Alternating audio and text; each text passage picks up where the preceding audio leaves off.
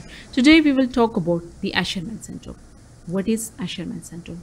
It is an acquired condition where scar tissue or adhesions form inside the uterus. The scar tissue can build up, decreasing the amount of open space inside the uterus. Asherman syndrome is also known as the Fritsch syndrome. What is the etiology behind Asherman syndrome? The basic underlying pathology is trauma to the basal layer of uterus and its failure to regenerate. What are the causative factors of Asherman syndrome? The causative factors include, first of all, trauma, like excessive curettage at the time of DNC, or previous surgery, like cesarean section, polypectomy, or myomectomy. Another causative factor is infection, which may be in the form of genital tuberculosis or schistosomiasis. Now, with what symptoms does a patient with Asherman syndrome presents? The presenting symptoms include amenorrhea, pain due to trapped blood, retrograde menstruation, recurrent miscarriages, and infertility. How to diagnose the Asherman syndrome?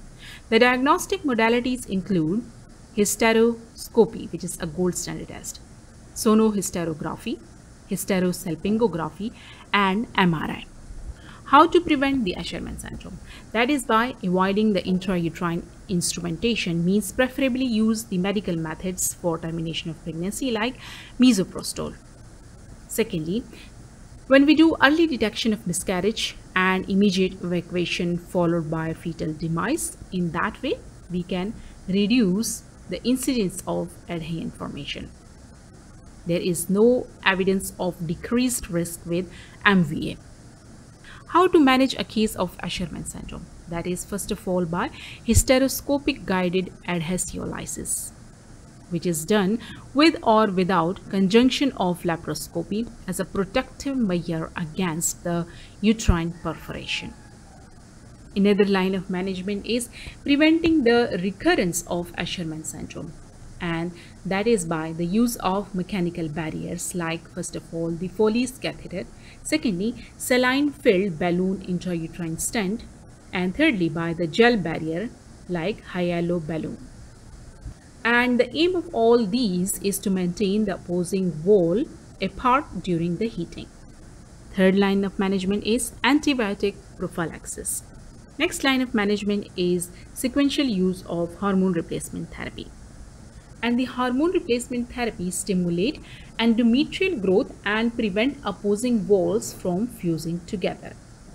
How to do follow-up after treating a patient with Asherman syndrome? That is done by hysteroscopy, secondly by HST, and thirdly by saline hysterosalpingography. What are the possible complications of Asherman syndrome? If the Asherman syndrome is left untreated, extensive obliteration of uterine cavity and fallopian tubes result from it. And in such cases, if a patient desires fertility, we can tell her about the option of IVF or surrogacy or adoption. Another complication is endometriosis and hematometra formation because there is retrograde menstruation associated with Asherman syndrome as I told you before.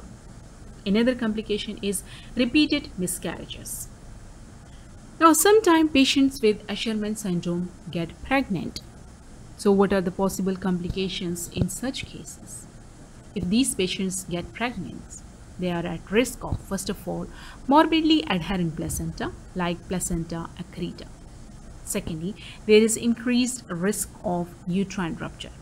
Thirdly, the second trimester Miscarriages are also common in these patients due to cervical insufficiency or premature delivery in these patients. So it's a good practice to have a detailed discussion with the patient about all these complications. Thank you so much. That was all about the Asherman syndrome. Subscribe on Obs and Gynae channel. Allah Hafiz.